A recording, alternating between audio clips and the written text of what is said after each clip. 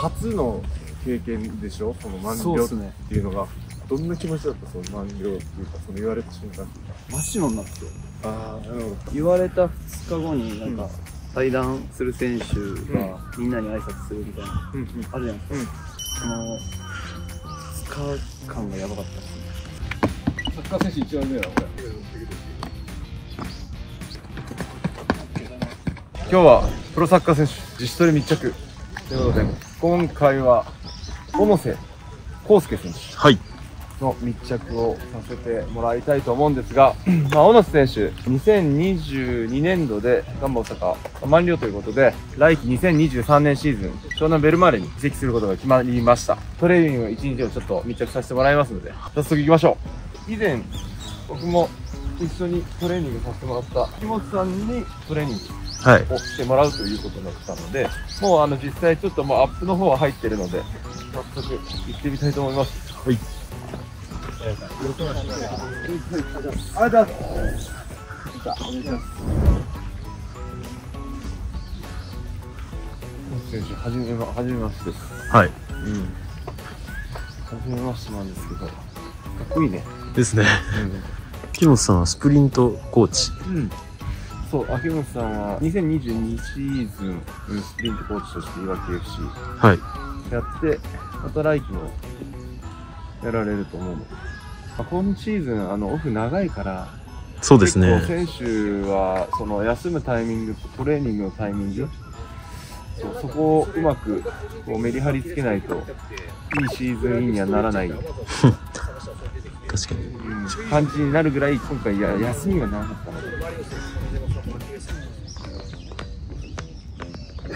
結構早い曲してやると思って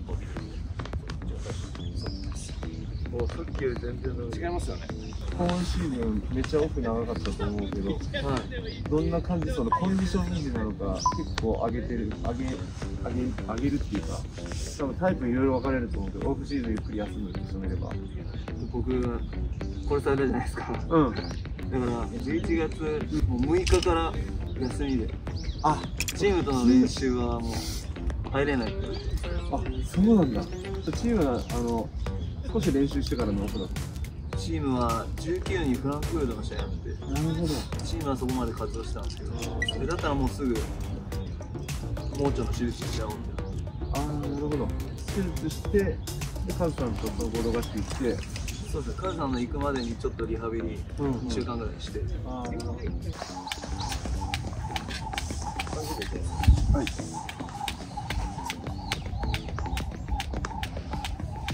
今ちょっと見てると今ぐらいのこのリズムだったらかかとがこう下がる時間作っちゃうんでちょっとこう強くするとかかとが下がる時間カットするんで縄跳び飛ぶときはもうちょい速いリズムでいけるとですねちょっとずつ速くしてるぐらいのあそうそうそうそうこっちもかかと下がってないんでこれこう。回30秒いきます次は1回戦の上下で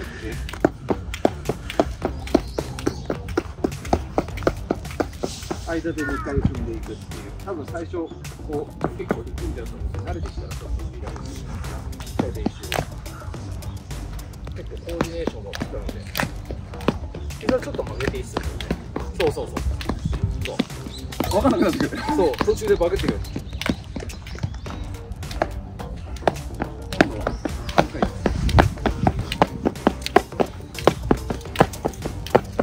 がいろいろ後ろ足バージョンとかもあるんですけど、まずは前回しに少し。2回でパンチだ結構縄のスピードはゆっくりで最初いいですよ。3回踏んじゃう時間を作る。そうそうそうそう。いいさすが。うわすげえ。あと10秒。サッカー選手一番目だこれ。マジっすか？マジマジマジ。みんな3回はできないよオッケーナイスやばいこれ。いいアップっすアップなんですかこれ。これアップした。全然アップアップ。えー、じゃあちょっと上げますか。してる時みたいに。首見てる方のいいですこの辺ぐらいまで。そうそうそうそうそう。そうするとついてるお尻の方にも来るんで。オッケーじゃあもう優しい方。あ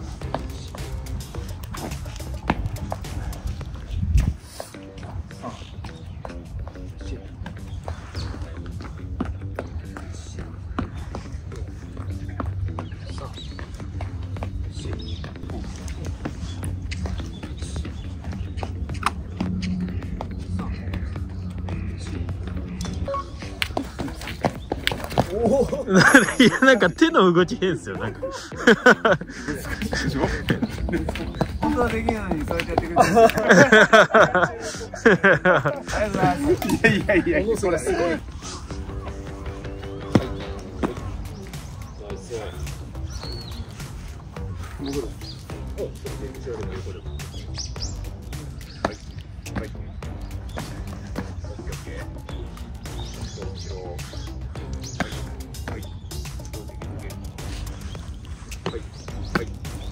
ナイス。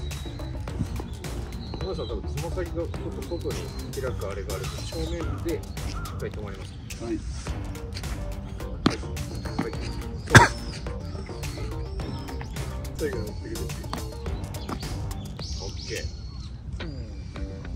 入れかけてはい。はい。はい。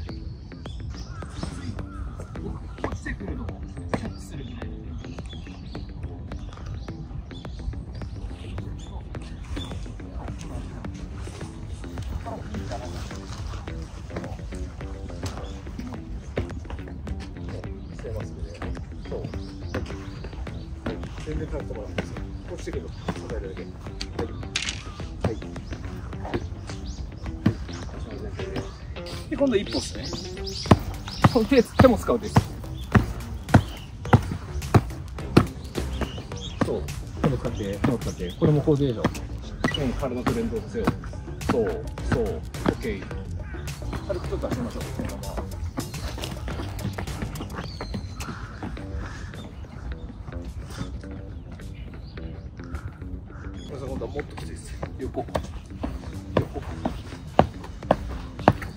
から落ちてくるのを支える支える2号、次、2号、そう。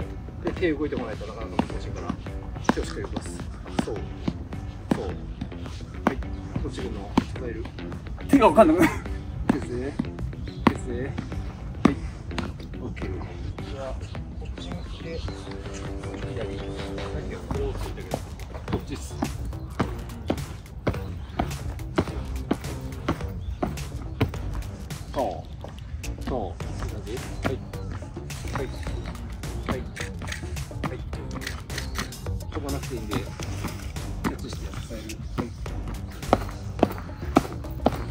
れもしっかり手使ってそう？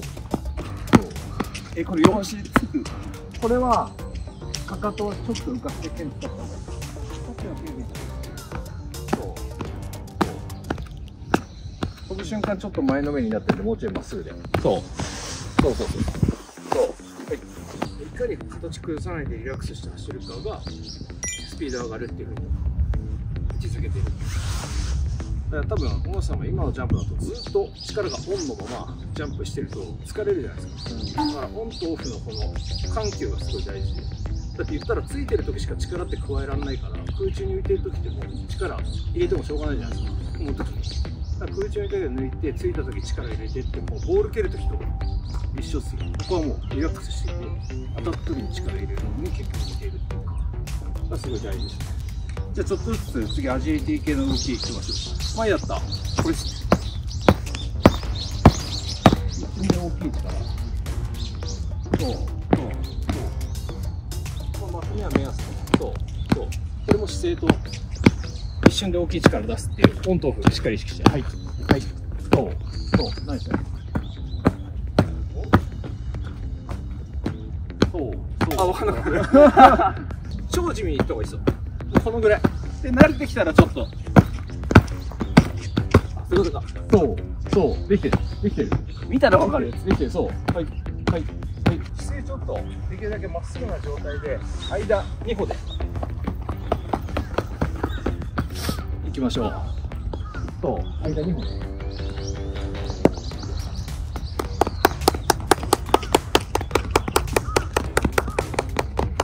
OK 今度はちょっと体勢低くしていいんでできるだけ早く動かすそうそうそう。そうこうかもしてくるねナイスナイスナイス OK モンス選手めちゃくちゃハードワークもできるからね。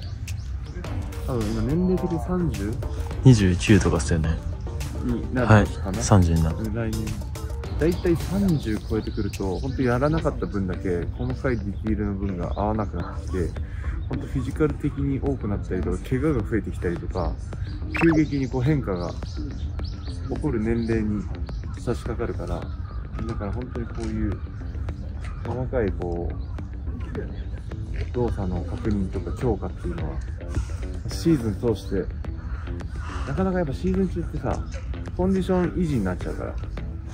だからこのコンディションを向上させるっていうのが難しくて。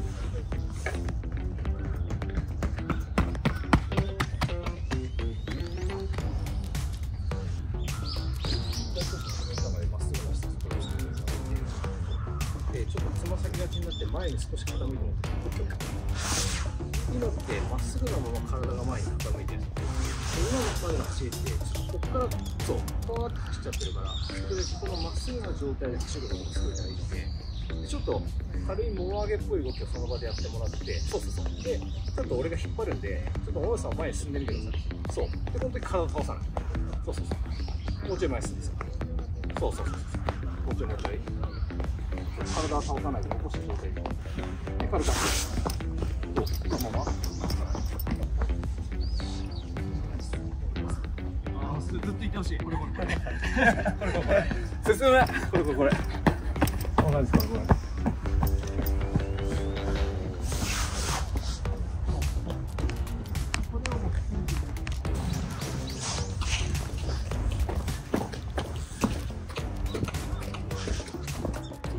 よ。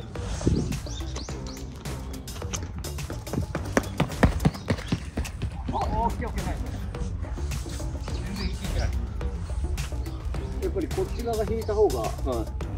立つかなそう。で外しましょう。嫌です。常に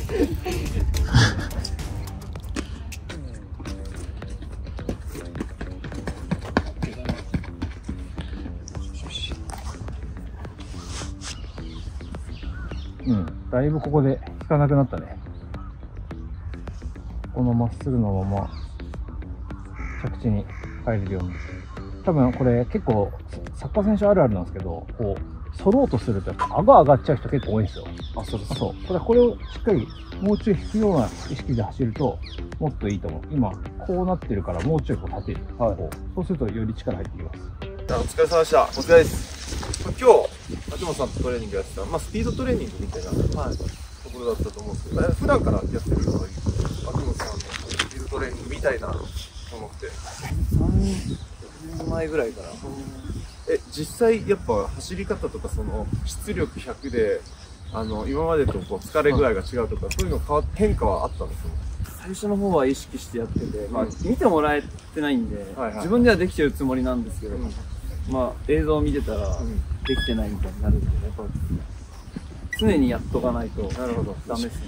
まあ、昨シーズンはい。のことにちょっと振り返るんですけど、まあ、ガンバ大阪でやって、まあ、最初横浜 FC からレノファ。はい。でその後ガンバ大阪でであの、まあ、ネットとかでもこう見てたんだけど、あのその満了っていうので初の経験でしょ？その満了っていうのが。で俺も多分第三者的な人もはい。あの予想してなかった数字、はまあ、試合数とか26試合出てたし、い。はまあ、監督交代でっていうのはあのねそれでちょっとこう出場機会が減ってっていうのは、まあ、よくあることだけどい。はい。そこから、まあ、満了っていうのは、え、実際どうだった？その、その瞬間も含めて、シーズン含めて、その、ま満了っていうのを考えてなかったでしそうっすね。正直、まあ原稿かょうん。なんかであるだろうなって思ってました。その、何、瞬間っていうか、どんな気持ちだった？その満了っていうか、その言われた瞬間っていうか。で、なんか話していく流れで、うん。え？みたいな。なんかこれ、なんか、親みたいな。なってて、んまあ、いざ言われて、うん。え？ってなってました。で出ちゃいました、これ。あ、そうなの？言われて。予想し予想してなかったからね。はい。くりうんしたのは言われたっすけど、うんうん。なんかもう、なんつ真っ白になってて、ああ、なるほど。思考が停止しちゃったみたいな。はいないみたいな感じだったんで、最終的にはやらせてもらったんですけど、なんかあるかみたいなのって、あるわけないじゃないですか。真っ白だし、もう10分しないうちに出てって感じでした。実際その昨シーズンまあ試合26って俺いい数字だと思ってんだけどはい。そのシーズン全体通してオン選手の、まあ、評価っていうか自己評価はい。としてはどどうだった？まあ、契約切れるタイミングだったのもうん最初分かってましたし、うん。まあ、ここ頑張らないとっていうシーズンだったんで、まあ、前半戦は特にやれてたかなっていう部分で、盲腸とかで苦しんだ1ヶ月とか2ヶ月あったんで、うん。そこがちょっとしんどかったですね。コンディション戻らないっていうのが、あそうなの？あそれは監督交代のタイミングとかそういう？あちょうど監督変わってのうん。週のゲームです。ええ。そこからなかなかコンディションが。そうですね、1週間弱ぐらい病院で薬で散らしてうん。退院して、んそこからリハビリとかしたんですけど、薬漬けだった。んで、全然戻んなくて、うんでも監督が使ってくれようとしてくれて、うんうんまあでもコンディション全然良くないけど、まあいざ試合出ても使い物にならないから、うんまあ、ちょっと別でやろうみたいになで徐々にっていう感じでしたね。えでもそのプレー的にはさコンディション一時期落としたけど、そのまあ、チームのはねちょっと苦しんだシはい。ーズンだったと思うし、でもその自分のプレーの評価だったりその今のそのまあ年齢も含めて多分いい円熟味を増して結構しっくりきてる年だと思うのよいろんな部分で。でも昨シーズンってどうだったの？プレー的なものを細かく分析すると。ざっくりやれてるなっていうのは、うん。悪い中でチームが、うん。って思ってたんで、うん。まあアクシデントもあったっすけど、うん。まあそんなゼロいかれるのかなっていうのは正直。あったっす。でどんくらいだったらその切り替えるというかその期間的に。まあそこからオフシーズンはになるじゃない、い。